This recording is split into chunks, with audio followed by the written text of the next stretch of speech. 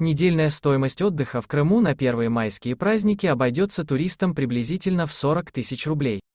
Эксперты портала toyardom.ru изучили несколько вариантов турпакетов и раскрыли наиболее оптимальные предложения. В качестве основы расчетов, специалисты взяли недельное размещение на двоих с перелетом из Москвы и трансфером в отель.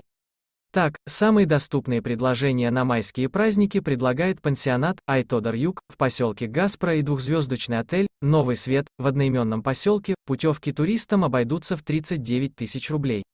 Во втором случае, завтраки будут включены в стоимость. Чуть более высокую цену предлагает трехзвездочный отель «Морской» в Алуште, размещение на двоих с двухразовым питанием составит 49,6 тысяч рублей.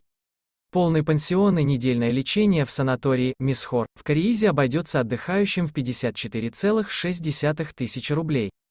Популярный среди туристов отель «Ялта Интурист» категории 4 звезды предлагает недельный тур за 129,3 тысячи рублей, в стоимость включены завтраки, посещение бассейна и сауны, а также детская анимация.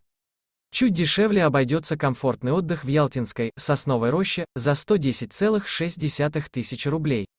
Как отметили эксперты, цены турпутевок на вторые майские праздники ниже. Стоимость проживания в отеле «Бристоль» с 6 по 13 мая составит 82 тысячи рублей, в Ялте-Интуристе – 104,2 тысячи. Ранее в марте эксперты назвали необходимую сумму денег для семейной поездки на российский курорт Анапы.